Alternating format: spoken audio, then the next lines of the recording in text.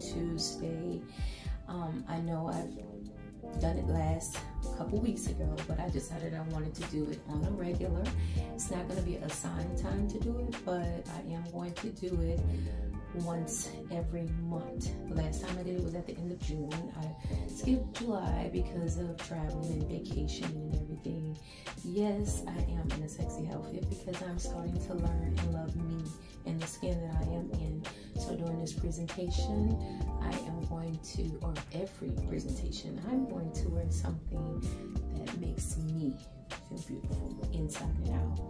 So welcome to August the 1st. God, I can't believe it's already eight months into the year. Lord, where is the time going? This year is almost over, but we need to get things in order. Um, I did this also on my Spotify for podcasters, so it is going to be verbal as well. But I wanted to do something special with the group, like I've always done. So I decided to come live and present what I said on my Spotify to you guys live. So today I was, and I have my tablet because I want to make sure that I do it the same exact way that I did it on Spotify. I don't want to do anything different. The only difference is you see me here, the other one, it's my voice. But today I was looking back on some of my memories, and you know how Facebook sends you your memories pictures of things that happened in your past. I don't know how far they go back, but they do it to me on a regular, and I enjoy it because it allows me the time to go back and see what I looked like then, or whatever the situation was back then, to um, kind of compare the two, like six years to now. Um, honestly, I feel like I've grown into who I am from six years ago, and um, love myself a lot more than I did then. But inside of that post that I did six years ago, I had one poem in there by this lady by the name of Laura Wilder, and it stated that life is not intended to be simple around your work, no matter how interesting and important that work may be. A moment's pause, meaning when you stop for a moment, everything stops. So you want to continue it. A moment's pause to watch the glory or the sunrise or the sunset is so satisfying. So it satisfies your soul to watch the sunrise or for it to go down. Or if you have a half a moon or a full moon, you know, that's a beautiful sight. Or if you laying back and you see those stars in the sky, that's a beautiful sight to see. But while birds singing their songs, they set the music, they set that tone for the entire day, for the entire um, season, whatever it is that uh, your season may be at that current moment. So let's talk about over the last couple weeks. I have been posting in the group on the weekly um, new start, new week, new start, um, what the topic will be on that particular day what's on your mind. And this is things that I start to speak about in the chat by starting off with a comment relating to that. Um, and you're more than welcome to put topics in there as well and speak on that topic and kind of get the group going to generating messages. It doesn't have to be just on that Monday when the week begins. It can be any time during the week. I just set the tone start because technically the week starts on Sunday, but in the worldly world, we want to say Monday. So Monday is the day of the work week begin. So I try to open up that line of communication to set the tone for everybody to have a positive week and you know just things that they can uh, kind of read back on that might help for that week because we don't know what someone else could be going through. Um, but the first week, it was growth and healing. And I speak about growth and healing a lot because I am in process of transformation, should I say, in growth and healing and self-love, self-care to starting to love myself. So we know with growth you have to be comfortable and feel safe in order to grow. Okay, and we know with healing, healing is that process of letting something go that you've held on to. Um, like it took me a while to get over losing my son and my father, um, but I had to. Okay, I guess my time ran out on that particular video in my space. So I'm gonna have to stop here and then start recording um, on something else. So I'll attach the videos. Once it cuts off, it cuts off from that part. Um, the next one was productivity, which is the effectiveness of being productive, meaning your effort that you put into, you know, just like the rate of output that you put things out, you want to put that unit into input, things you put out, put in. Um, the third topic was aspirations, and aspiration is your hope and your ambitions that you um, want to achieve or, or, something in your life, a, a goal, a standard, or something that you are working towards. Um, change and how do we adjust to change? You know, change is normally something that corresponds, that fits, that conforms, that adapts, that accommodates something new in your life. And uh, we know adjusting is kind of regulating, trying to work it until the changes that you're trying to do. And then this week topic was gaslighting. And I was truly amazed and astonished by what gaslight actually meant. And a lot of us are not aware of that word gaslight. But when I did my research and I looked it up and everything, wow, that's powerful. So again, if it cuts off, I'll go back and I'll add all the recordings in. So again, every week I put in the group a topic that we can speak about and generate the chat into the group so that everybody can kind of engage in, you know, daily life or things that people may go through in their life. But, and I also put videos in there. I put mimes, um, messages, motivations, inspiration. I kind of keep it active into the group so that that week topic can relate to those week messages and um, motivation and stuff like that to kind of help. Um, but you guys, I'm so sorry, you guys can also engage into the chat. Some people want to keep silent voices to humble their tongue, and that's perfectly fine. However, you know, it's good to interact in a group to let everybody know because sometimes silence can be poison and nobody wants poison in their body because they get infected with that poison. So we want everybody to be free to speak, free to engage, free to put. Okay, so clearly you guys know that I told y'all that it was gonna cut off, so I had to use my business phone to continue recording this. But I was speaking on um, the silence and being poison and how you don't want the uh, body to be formed of infection and everything. So you want to make sure that you release everything out. Um, but that's a part of my aspiration why I do what I do because that's my goal. I'm not here to try to make anybody do anything that they don't want to do. It's just, um, I like touching others by expressing my experiences and things that I've gone through in life to kind of help the growth and healing that I've gone through help someone else because it, it could be someone else's story. But you got to make sure that you're comfortable enough to speak your story and present what you're going through so that others can know that they don't have to be afraid. You know, um, it's normal, it's perfectly fine. People talk about Jesus on the cross. They always talk about people and say things. Who cares about that? Because I no longer care about that kind of stuff. But it's a form of um, being accountable for things that I do in the group and interacting, engaging, and getting others to do the same as well for their choice. Because, like I said, it's up to them if they decide that they want to to do that. But like in life, we have to do a lot of adjustments um, with our situations or circumstances, whatever that may be, that generates us to get to that point or on that level.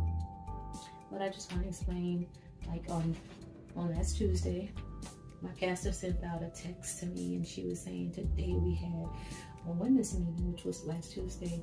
She sent out the text at like 3:55, which the meeting started at 6, which perfectly fine. I mean, I basically live right up the street from the church. And I mean, I love my pastor, but I knew when she sent that, that message, okay, like this word is going to be for me. Didn't even know it was going to be any teaching and learning because this will be my first um, actual women's meeting. And let me be honest, I haven't been in church in a couple weeks um, due to a situation that is no longer relevant. But I, um, I kind of sat back and standoffish um, for something that took place. And um, I said it to say, when I went there to walk in there and everything is set up, it's new you know, like a new setup, the arrangements, the chairs and everything was organized to whereas it was a better view for the preacher, the people who do the teaching as we learn. Um, also, um, just it was more roomy, it was more peaceful. Um, the seating arrangements were just wonderful. But going in on that day, I just knew that this meant new. Something new is about to change or happen in my life. And I go in there, and when I tell you that this woman of God, when she speaks, I feel like she's like my mom from heaven. And you know, God just set her down and said, Hey, I need you to go and talk to my child and tell her to listen to my voice and open up her eyes, you know, um, basically like giving me a spanking from my mom. And um, it's, it's just so powerful how the messages from him generating her and come to me.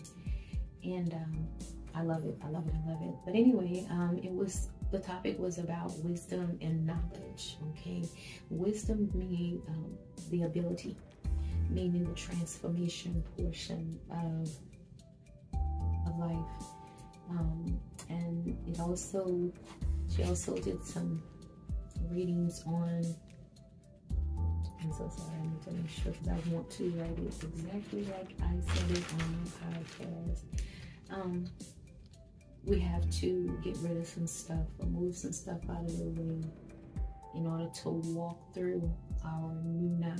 That's what she was preaching about. And um, new now was so powerful because she gave this example of this man who had a friend that did everything for him and this little girl and the little girl um, was more like his little side piece on a more um, younger level, and, and, and, the guy was more of a, more like a daddy level. You know, he couldn't do anything without him, is what he thought, until he decided to walk through his new now. But we have to hold our heads straight and steady and leveled. Okay we know that knowledge is from our experiences that we go through in life. In order to speak about, to learn from, we have to go through the experience. So everybody has to go through whatever it is that you go through because all this stuff is written. I tell you guys this all the time. When I preach in my um well preach, Lord, not preach, I'm not preaching. but when I speak about things in my um podcast, I say things that relates to that. Um, also, she was saying that um, she was talking about how we have to, this was like a previous Bible study, she was talking about how you have to have full armor on, you know, with your head, the helmet, your shield, your arrow, and all that stuff. And I think I spoke about that a little bit on my podcast too, but I'm not speaking about that today. Um, so what that Tuesday women's meeting was about. We had one of our sisters in Christ, she asked them to pass out these little cutout pieces of paper and it was flipped upside down. So we didn't actually know what we were doing. And she said, everybody pull one. So she goes around and get everybody one. And when she gets to me, there's this one huge one in the middle and other ones are um, all combined together. And it's like, she's just doing this. And I'm like, I don't want that big one. Why you putting that big one in front of my face? I want, she said, I'm not. And I said, oh, okay. So I only figured, I said, okay, well, maybe God wants me to pull this one. So I pulled it. I kept it turned over until she was ready to say what we were going to do with it. And she said, um, now everybody take your paper and turn it over. So we turned the paper over and she said, I want you to read these scriptures and tell me what you are going through or what you can relate to about the scripture. Now, after everybody doing their readings, I only hear everybody reading one scripture. And I think I was the second to the last person to go. And um, I'm like, Pastor, I feel like I've been set up. I feel like this is a conspiracy because I had two scriptures and everybody had one. And she's like, oh, you do? And I said, yeah, I do. You know, I'm like, man, I'm feeling unfair. But she was like, no, I didn't do that, you know. And I know she didn't intentionally do it. I know who did it. But the scriptures that I had related to something that I'm currently going through. And reading those scriptures was just so amazing and so powerful. So my first scripture was Psalm 46, 5. And it said, God is within her. She will not fall. God will help her at break of day. And that's always been one of my fears is failure. Always, I'm gonna repeat that, failure. Not being able to stand alone. So that there, that scripture was God confirming that He's got me, regardless of whatever situation that I ever come into or endure, He's got me. So that Tuesday stated a lot. One of the things she taught me was when you get a revelation, you have to, that, that revelation, you have to acknowledge that revelation because that revelation gives you strength and power and how to build your house. I'm gonna repeat that word, your. How to build your house. You know, we have to rest free from scatteredness in our minds because we have cloudiness, scattered stuff all over the place, worrying about this, worrying about that, letting other people's actions come on us, and we take on that as well. But in order to be at peace, you have to clear all of that and walk into the new now and and that's what she was teaching about. I'm telling you, Miss Miss Lori, because she's in the group when she preaches. I promise you, I feel like I'm sitting in a college course class and she's the professor, and I better have my pen and paper down because I acknowledge everything she says. I write down everything she says, and not just from that moment, I take and I still study the things that she said because it's a great tool to have now, my second scripture was Philippians 4 and 13. I can do all this through him who gives me strength.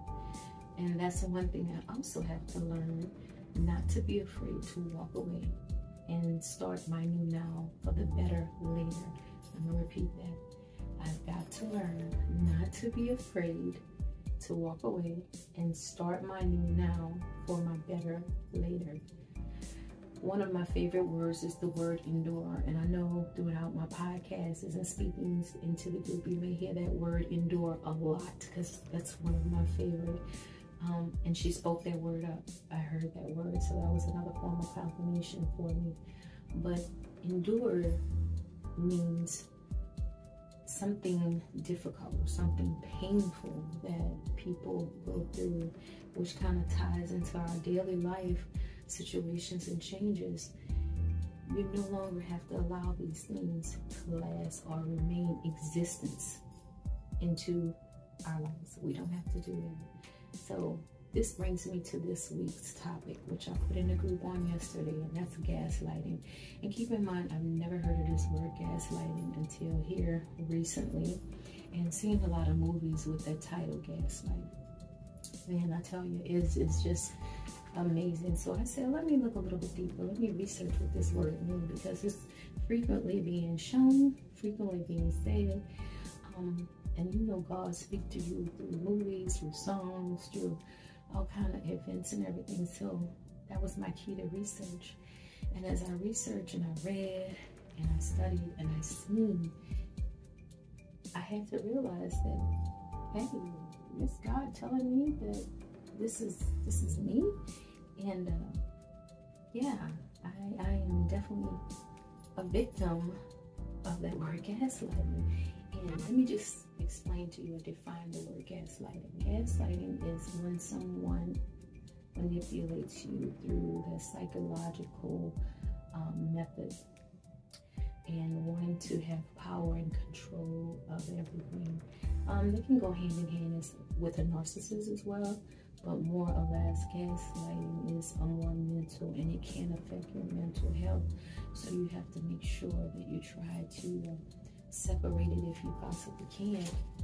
But it's hard, you know, it's up to you to deal with certain situations.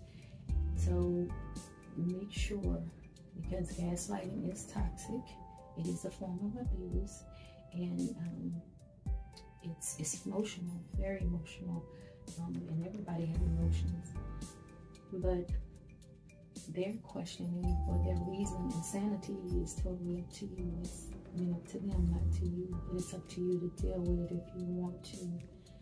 But some of the traits and signs that you need to be aware of if you're in that situation is these people like to be highly manipulative, okay? They like being highly controlling. They try to cover up for their insecurities and their doubts that they have with themselves and make you feel like it's your fault. Um, calling out other people's flaws and they're never wrong, right? They're perfect, okay? And they're low self-esteem because their self-esteem is low. They start to get the jealous rivalries and thinking other things is what it really isn't, but that's what just is assumed or in mind. So try to make sure that you um, set healthy boundaries if you're going to deal with someone with that gaslight type of disease. Make sure you practice self-confidence and self-worth so you can know who you are as an individual. You know, start loving on yourself. I always say self-love, self-care, self-worth, self-adjustment, um, self-growth, self-healing, self-productivity, self-aspirations. I mean, self-changes, self-adjustments, all of this stuff is self. You know, so learn to love yourself with all of that. Um, there are some ways that if you want to continue being with your gaslighter, they have to want to change. Okay, so most of them don't feel they have a problem. They don't acknowledge that this is going on. It's just like it's like turning a shirt inside out and you're the wrong side of that shirt. Um, you know, some people put on a shirt and they get frustrated because they can't get it right. Wow, that that's that's what that is. Um, they have to want to acknowledge that they have because again, like I said, they won't say it because they don't feel like they have a problem. Nobody's perfect in a relationship at all, so you're gonna have things that you may be wrong at and they may be wrong at, but when you're the one that they're constantly targeting and you're dealing with it, you seem to be the one that knows the problem because you're on the outside and they're going they're doing it too. And then they have to make effort to change their unhealthy behavior. Again, that's them, not you. But sometimes what they do or project on you can cause your mental to mess with you. And then you start picking up their traits and their ways. And then now you both have problems. So it's up to you at the end of the day if you want to do it on your timeline and your watch or if you want that to be someone else's problem. Totally up to you. So let's talk about it. Tuesday was called Combination of Views everything that I've gone over for these last couple of weeks is what I combined in one let's talk about it video. I thank you guys for watching and again I said I'm going to start doing this once a month so that the weekly topics can be combined on, on what we speak about in order to kind of engage more into the group. So have a great day um, great morning, great afternoon, whatever time of day you're watching this video. And um, let's stay engaged, let's stay involved, okay? See you later.